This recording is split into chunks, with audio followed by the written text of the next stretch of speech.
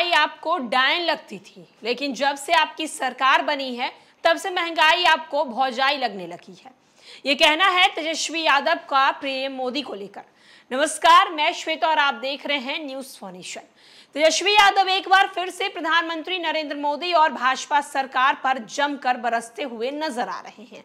तेजस्वी यादव कह रहे हैं कि जब इनकी सरकार नहीं थी तब तब इन्हें महँगाई जो है वो डायन लगा करती थी, लेकिन अब इन्हें महँगाई जो है वो भौजाई लग रही है। दरअसल आपको बता दें कि देश भर में एक जून को सातवें और आखिरी चरण का मतदान होना है। सासाराम लोकसभा क्षेत्र में भी एक जून को मतदान होने वाला है। सासाराम लोकसभा क्षेत्र में महागठबंधन के प्रत्याशी मनोज राम और एनडीए प्रत्याशी शिवशेष राम के बीच मुकाबला देखने को मिलेगा। महागठबंधन के प्रत्याशी मनोज राम के लिए बिहार के पूर्व उप मुख्यमंत्री तेजस्वी यादव, पूर्व मंत्री तेज प्रताप यादव, महागठबंधन के प्रत्याशी मनोज राम के लिए बिहार के पूर्व उप मुख्यमंत्री तेजस्वी यादव, पूर्व मंत्री तेज प्रताप यादव, मुकेश सहनी। कैमूर के चैनपुर विधानसभा अंतर्गत हाटा के सभा में संबोधित किए। उन्होंने महागठबंधन प्रत्याशी मनोज राम को भारी मतों से जिताने की अपील भी की। पीएम नरेंद्र मोदी पर तंज कसते हुए कहें कि जब तेल 60 लीटर थी और सिलेंडर 500 का था तब। पीएम मोदी को महँगाई डायन लगा करती थी। अब महबूबा और भौजाई लगने लगी है।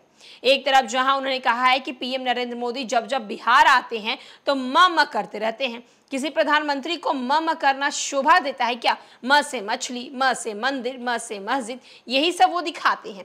लेकिन म से महँगाई इन्हें नहीं दिखाई देता है। उन्हें बिहार ने उनचालीस सांसद दिए हैं, इसके बावजूद उन्होंने बिहार में विकास का कार्य नहीं किया है।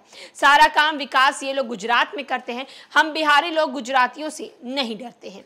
तो आप देख सकते हैं कि तेजस्वी यादव किस तरीके से प्रधानमंत्री नरेंद्र मोदी पर हमलावर होते हुए नज़र आ रहे हैं और कह रहे हैं कि पीएम नरेंद्र मोदी जब भी बिहार आते हैं तो म म करते हैं। म से मंगलसूत्र, म से मंदिर, म से मछली, म से मस्जिद। लेकिन म से महँगाई कभी इनके मुँह से नहीं निकलता है। 2014 से पहले जब साठ रुपए तेल हुआ करती थी, पाँच सौ रुपए सिलेंडर हुआ करता था, तब इन्हें जरा महँगाई जो है वो डायन लगा करती थी। लेकिन अब महँगाई इन्हें महबूबा और भौजाई लगा करती है। तेजस्वी यादव ने ये सारी बातें रैली को संबोधित करते हुए कहा।